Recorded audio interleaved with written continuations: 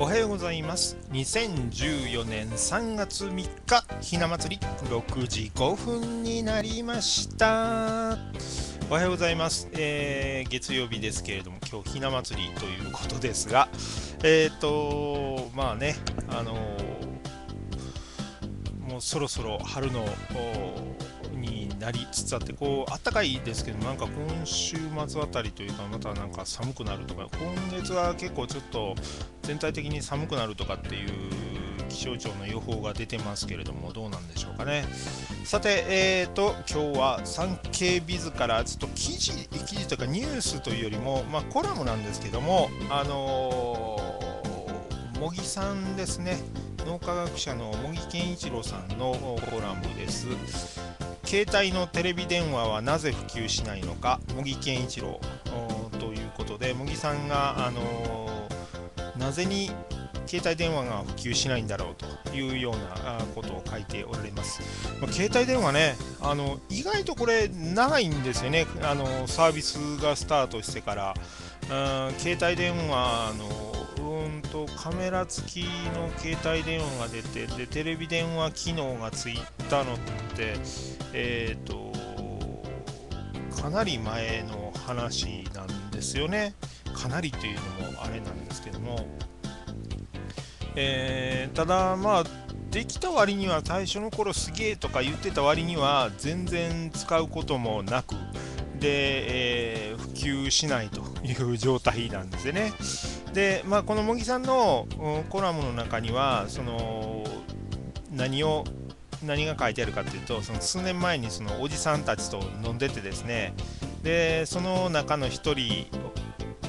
があの奥さんから電話がかかってきてでテレビ電話でビッて出て今どこにいるのっていや今友達と飲んでるって言ってグリってこう映したらしいんですね。でその時に、あの、そこにいた人たちみんなが一瞬ギョっていう感じになったと。なんか一瞬場がしらけたというかそんな感じになってで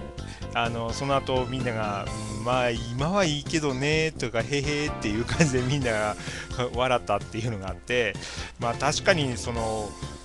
テレビ電話ってね、えー、出れる時と出れない時っていうのがいろいろあるわけですよね、その都合の悪い時とか、やはりそこがね、こう全然考慮されてないというのが、あの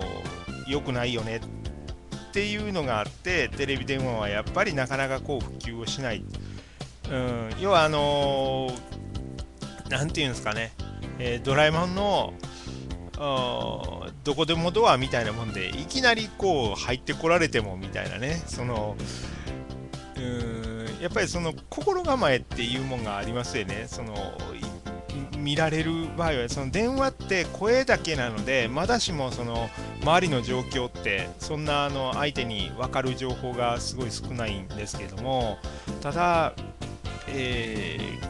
テレビ電話になると周りの状況も見えてしまうのでいきなりこう来られてもやっぱ困る状況って多々あるわけですね。で、まあ、いろんなそのプライバシーの問題だとかもありますしで昔私もあのインターネットの動画配信のサービスとかねいろんなそういうところで仕事をしてたんで、えー、その時もね面白かったんですけどもその遠隔教育でテレビ電話を使うっていうあのノバとかであの駅前留学とかってやってましたよね。そういうのとかあるんですけどもいまいちああいうものって普及しないんですよ。でなぜそんなものが普及しないのかっていうのでえー、っとですね、あの、一時期そういうなんでいろんなところにこうね調べたり話聞きに行ったりいろいろしてたことがあるんですがでそれで分かったのはやっぱりですねその自分でこういろんな英会話とかそんな遠隔教育を受けれるっていうのはいいんだけどもただ映像が見えるということは自分家の部屋の中が見える。でアンド、えー、自分の身だしなみにも気をつけなきゃいけないと。いうのがですねやはりそこがハードルが高いと。でそれはですねあのーえー、キャビンアテンダントの養成学校かなんかのところで話を聞いた時に面白いなと思ったんですけど、うん、そういうなんで勉強はしたいっていうのはあるんですけどもただそのテレビ電話を使っことでですねその時間になるとわざわざ服を着替えてで化粧しなきゃいけない髪の毛を整えないといけないっていうのはもうめんどくさいと。そんなのをやってられない。で画面が見えたらその発音の違いとかを先生にこうね口元を見てもらってあそこ唇の動きが違うとかあのそういうのを言ってくれるっていうのはすごくいいんだけどもでもそのためのそのためだけにわざわざこう化粧して髪の毛整えて服着替えてで部屋の中きれいにしてみたいなことをしなきゃいけないのは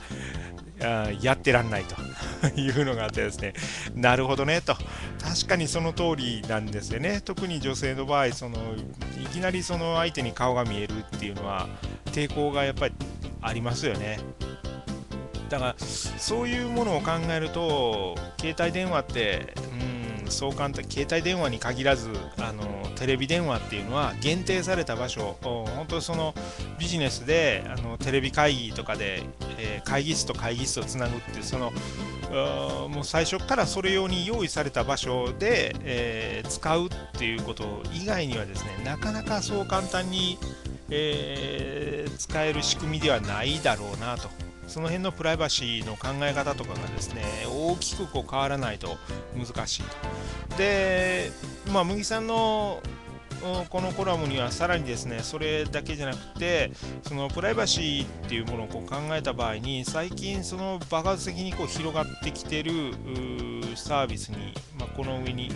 前にもちょっと,、えーと、6時5分でもやったと思うんですけどスナップチャットっていうね、えー、サービスが今爆発的に広がってきてるんですよ日本ではまだそれほど広がってないんですけどもアメリカではですねもう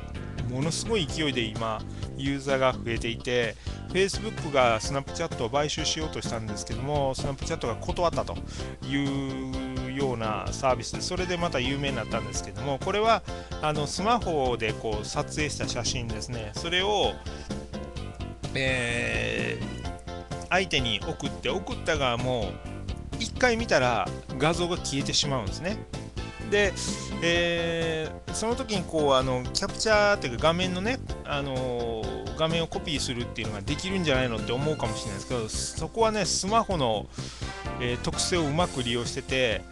写真を見るって押すじゃないですか。押して指を離した瞬間に消える。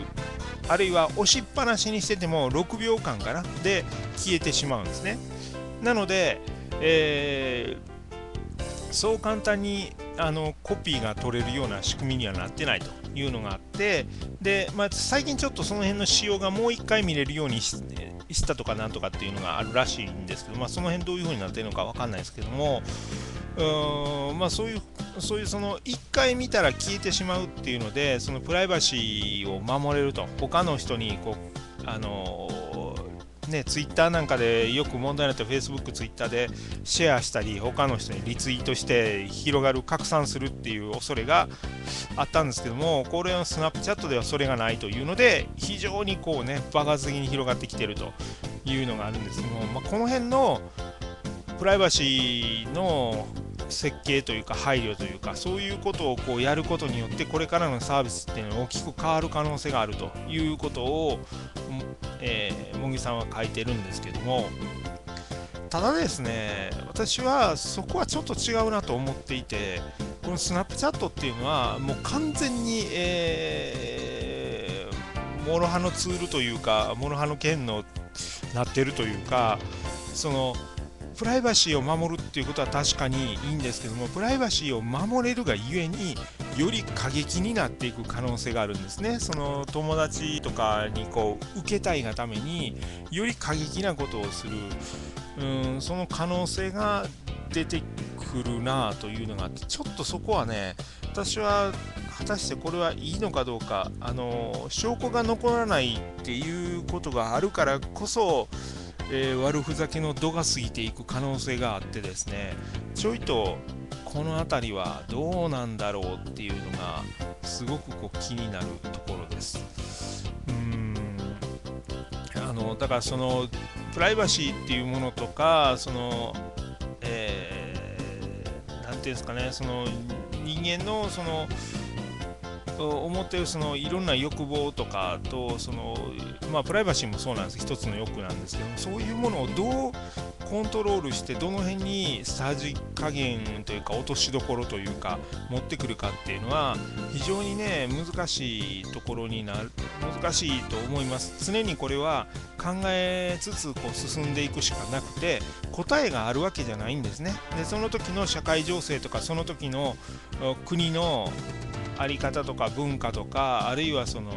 えー、価値観とかですね地域による差とかいろんなものが混ぜこぜになってこう決まっていくものなので、え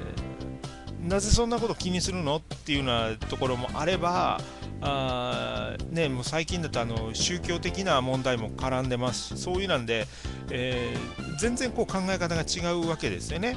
でその辺りをグローバル化することによってますますその違いっていうのが出てくるので